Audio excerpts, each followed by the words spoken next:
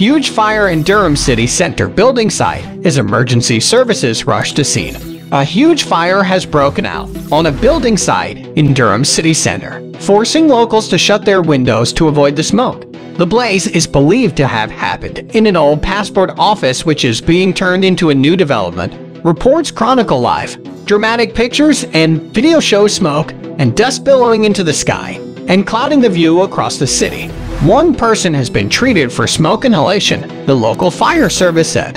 Firefighters from five stations raced to the Milburngate development at just after 2 p.m., a statement added. The full circumstances of the incident and the cause are not yet known. Durham Constabulary said on Twitter, fire crews are currently at the scene of a fire in the Milburngate development in Durham City.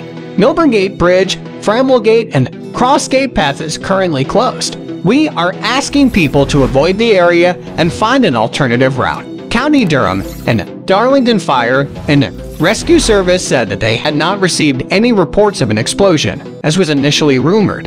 A spokesperson said, there are currently eight crews at scene of a fire at the Milburngate development in Durham City.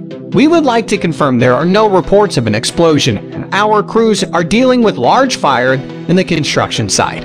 Our colleagues from Durham Constabulary have closed the surrounding roads, while our crews bring the fire under control. One person has been treated for smoke inhalation at the scene. We would like to advise local residents to close their windows and doors and ask commuters to avoid the city center and find an alternative route home. Thank you for your cooperation. Durham County Council has urged people to stay away. A tweet said, Due to an ongoing incident, Milburngate Bridge is temporarily closed please avoid traveling into Durham City Center. And a spokesperson for the Northeast Ambulance Service said, We were called at 2.9 to reports of a fire at the Milburngate development in Durham City Center. We have dispatched three vehicles from our hazard area response team and a double-crewed ambulance. We are currently still on the scene. Mary Kelly Foy, the MP for the City of Durham, urged people to stay safe.